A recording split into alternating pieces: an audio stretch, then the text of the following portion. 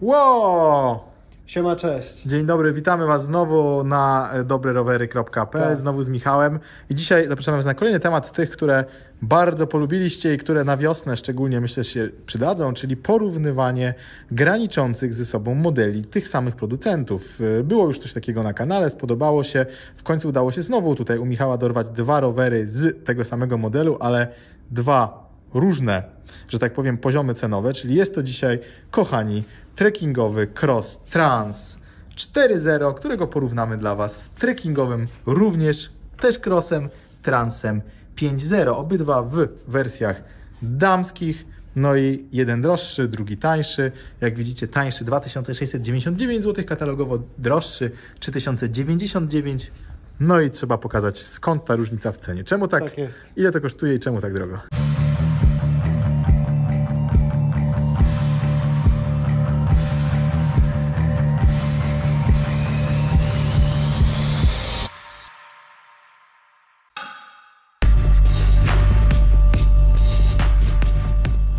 Więc cóż, na pierwszy rzut oka możecie popatrzeć i już widzicie, że obydwa te rowery bazują na tej samej ramie, bo z tego co wiem, to od Trans 3.0 zaczyna się ta taka bardziej Tak wypasiona rama. Trans 3.0 jeszcze ma tą e, ramę, która ma te okrągłe profile. E, tutaj, tutaj już jest właśnie e, rama o takim kwadratowym, dużo bardziej nowoczesnym kształcie.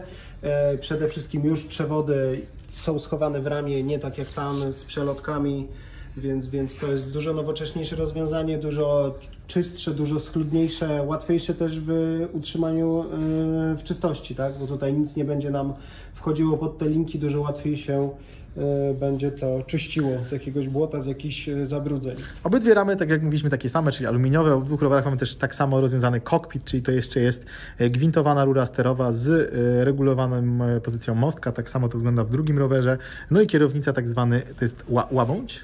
Ja nie wiem, czy to jest łabądź, Łabądź? takiego czegoś jeszcze nie słyszałem. Tak, jest Znaczy, kierownica jest, tak jak w większości rowerów trekkingowych, regulowana w dwóch płaszczyznach, czyli możemy sobie ustawić jej wysokość za pomocą poluzowania tej śruby, a dodatkowo możemy też ustawić jej e, kąt, czyli czy ona ma być bliżej zwrócona do nas, jednocześnie lekko podniesiona, czy może oddalona, lekko obniżona. Tutaj jest podziałka, e, w obrębie tej skali możemy się poruszać.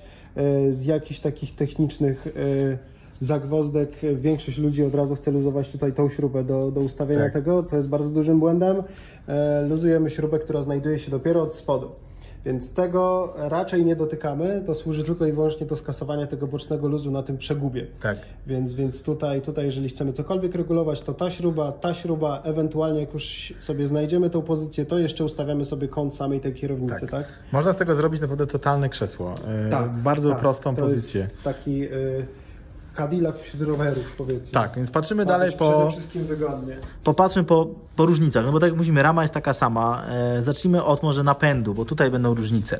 Tak, ten, ten niższy model jest na y, przerzutce y, Acera, tam już mamy Deorkę, więc, więc jakościowo jest to troszkę większy przeskok. No, duży przeskok, to są dwie grupy Deorka przeskok. już jest w systemie Shadow Plus, więc, więc, Idźmy, więc idźmy. Dużo, dużo nowocześniejsza technologia.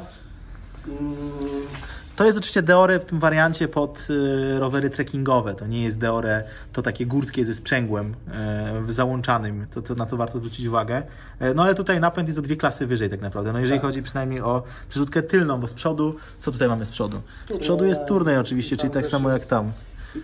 Czyli różnica jest w tylnej przerzutce, z przodu dalej jest jedna z najtańszych przerzutek Tak. Natomiast e, oba rowery już są na kasecie, więc mimo tego, że, że tutaj jest to ten, ta podstawowa Acera, no to jest już to zestawione właśnie z kasetą. Tutaj widzimy drugą bardzo dużą i myślę, że kluczową dla różnicy w cenie różnicę, e, czyli tutaj mamy w modelu tańszym hamulce V-brake szczękowe, aluminiowe przynajmniej, a w modelu droższym mamy już hydraulikę. e, która jest hydrauliką od e, jakiejś to firmy, panie kolego? Shimano tam jest. Shimano tu jest, czyli dobrze, nie ma tutaj... właśnie z klamką manetką też hydrauliczną od Shimano. No to przy takim rowerze trekkingowym w zasadzie spoko rozwiązanie. Tutaj, taki- tutaj nie ma potrzeby iść w coś wyższego. Minimum to- przyzwoitości, nie ma, nie ma też żadnych e, Raczej rowery eksperymentów. do mega spokojnej jazdy, do właśnie jakiejś turystyki. E, więc, więc tutaj się to sprawdzi. Co do jakichś gadżetów typu oświetlenie, błotniki, e, wygląda to dość podobnie. W tym modelu wyższym dostajemy jedynie jakieś gumy na bagażnik, które w zasadzie w cenie detalicznej kupujemy za 20 parę złotych, więc Tak. nie jest to e, jakaś znacząca różnica. Jeżeli chodzi o siodełka, mamy tutaj dokładnie dwa te same modele z wypełnieniem już żelowym. E, Tak samo to wygląda tutaj, w tym rowerze.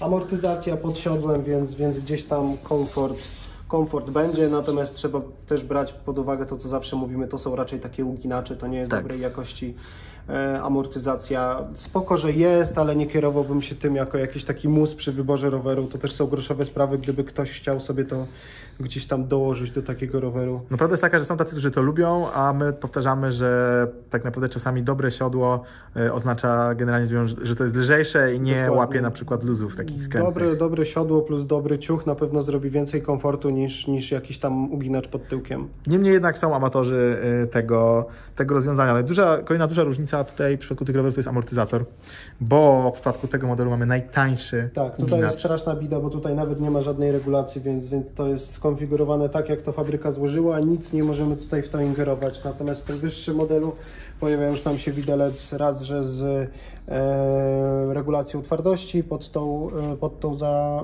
a nie, tutaj nawet jest bez zaślepki, Tak, więc, więc no jest naprężenie wstępne. dostać, tak.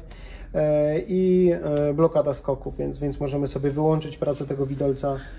E, Prosty, bo prosty, ale jest to widelec o stopień wyżej w ofercie e, Santora. No i obydwa rowery, tak jak mówiliśmy, mają takie samo oświetlenie. Oświetlenie ma funkcję podtrzymania świecenia i oświetlenie jest zasilane z prądnicy, która się tutaj Ważną nam... różnicą też jest ogumienie w tych, w tych Tak. rowerach, bo tutaj w tym wyższym modelu już dostaniemy Szwalbę. e, ogumienie z, od szwalbę z jakąś tam podstawową wkładką antyprzybiciową. Tutaj Tak. jest to wkładka klasy 3 z tak zwanym K-guardem. Więc, więc tutaj jest troszeczkę fajniej. Tutaj jest, jest jeszcze czeski Mitas, więc taka zupełna podstawa, jeżeli chodzi o jakichś takich producentów ogumienia. Jest to jeden z najtańszych tak naprawdę producentów ogumienia. Więc tak się powiedziawszy, jaka to jest różnica w cenie? To jest No tutaj masz 3100 zł, a tam mieliśmy 2700. 2700, więc 400 różnicy, I no to jest- warto moim zdaniem, bo no. masz hydraulikę, lepszy widelec, fajniejsze opony, no to jest to takie top 3 z ważniejszych różnic, tak? I przerzutka. Tak. Więc chcąc dołożyć te cztery rzeczy, no nie zmieścisz się w No, takiej wydaje mi się, że chcąc, chcąc dokupić e, podstawową hydraulikę z e, klamkami, e, z drugiej strony też jest taka kwestia, że w tamtym rowerze byś No tak, samo, w ogóle... samo ogumienie to jest prawie dwie stówy, jakbyś chciał Tak, wymienić. tak. No ale też w ogóle zwróciliśmy uwagę na jedną rzecz, którą myślę, że warto zwrócić e, uwagę, że jednak te ramy stare nie są identyczne. Bo w tej ramie nie masz mocowania do tarczówek. Tak.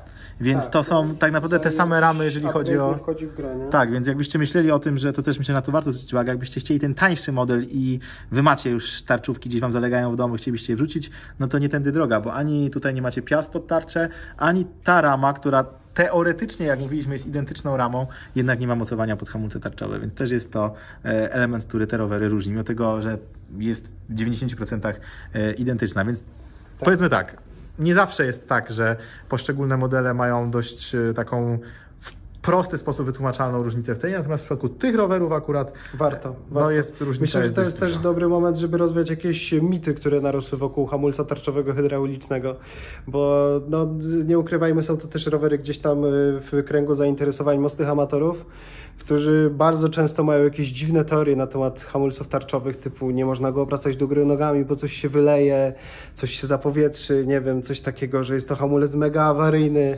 I drogi w i eksploatacji. drogi w eksploatacji, a tak naprawdę to jest hamulec dokładnie tego samego typu i rodzaju, który macie, nie wiem, w samochodzie, w motocyklu.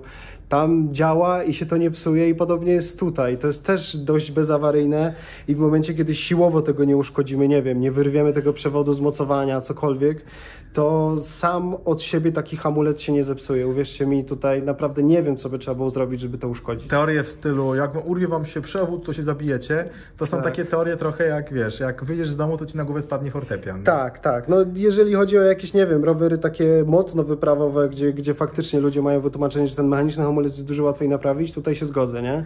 No tak, znaczy, gdzieś gdzieś w, w krajach trzeciego świata, gdzie dostęp do takich rzeczy jest e, znikomy albo nie istnieje, to jak najbardziej ma to sens takie wytłumaczenie. Tłumaczenie. Natomiast jeżeli kupujemy rower w Polsce i chcemy nim jeździć po Polsce, to to jest argument, który kompletnie do mnie nie trafia. Polski rower do jeżdżenia po Polsce. To jest właśnie Tak, to. kupiony przez Polaka. Czy- Dokładnie, w polskim sklepie rowerowym. Tak, więc podsumowując, moim zdaniem nie ma się czego obawiać, jeżeli chodzi o takie hamulce. To jest naprawdę dużo lepsze, fajniejsze, skuteczniejsze.